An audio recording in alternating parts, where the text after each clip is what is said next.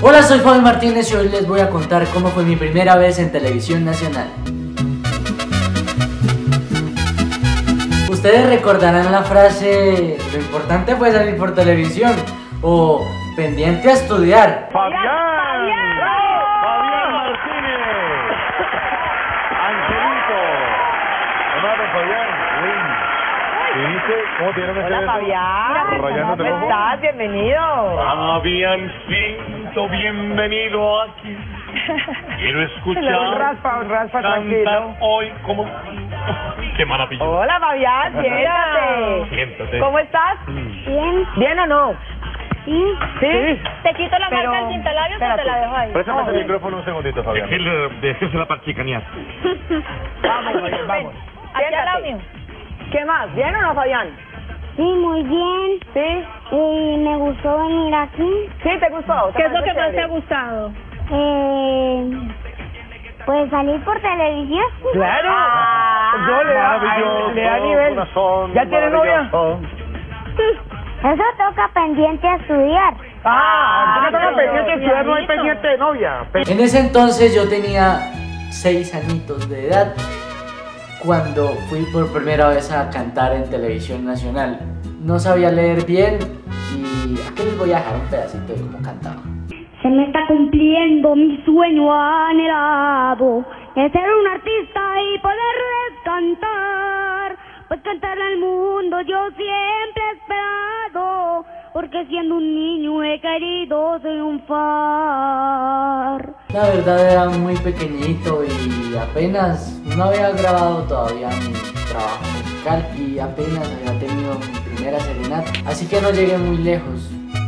Tuve, la oportunidad solamente de presentarme a los jurados, pero pues como quien pasa con Pedro por su casa, entro y salí. Y después de eso estuve en un programa muy reconocido aquí en Colombia, donde me hicieron entrevistas y fue muy gracioso. Ustedes se imaginarán a un niño de 6 años respondiendo preguntas de audio. Tuve que madrugar para poder presentarme a las audiciones de ese mismo día.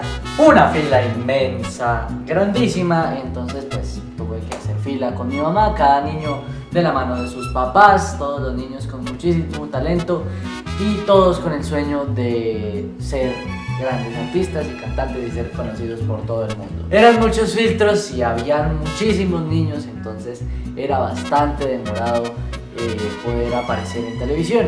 Al presentarse los niños, muchos cuando les decían que no, muchos chicos salían llorando y salían muy tristes y salían pues con desilusionados. Pero pues yo al salir dije una frase célebre, la verdad no estoy seguro si está eh, la historia o es, hay evidencias de ello, pero cuando cogieron una cámara más grande que yo y me tomaron eh, un camarógrafo, ¿no? Y me preguntaron, eh, ¿y qué sentiste cuando te dijeron que no? Y yo pues la verdad, lo importante fue salir por televisión.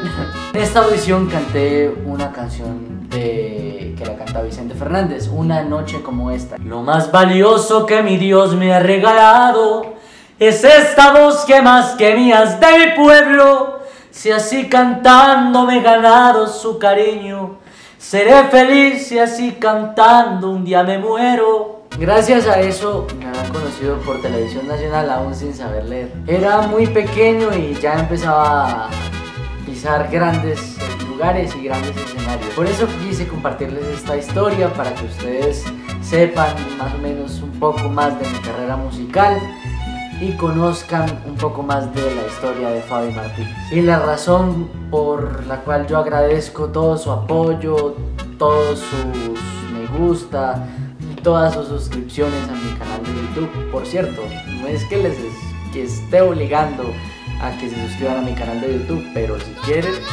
es gratis. Pueden seguirme a través de Facebook y YouTube e Instagram. En Facebook como Fabi Martínez, en YouTube también suscríbanse, te lean botoncito rojo y a la campanita para que les avise por cada video que yo suba.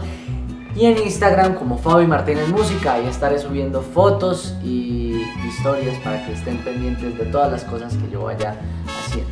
Nos vemos el próximo jueves con más de mis historias graciosas. Los quiero, un abrazo.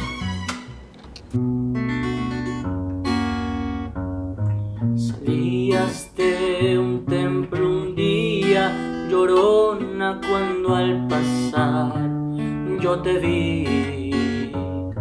Salías de un templo un día, llorona cuando al pasar yo te vi. Y ya olvidaste, te recuerdo los motivos. Tu boca me faltaba más por darte, cuando lo único que hice fue entregarme. Cualquier detalle nunca era suficiente, por más que quise nunca pude complacerte. Según tu boca nunca fui lo que esperabas. Llegué a pensar que era yo quien me equivocaba.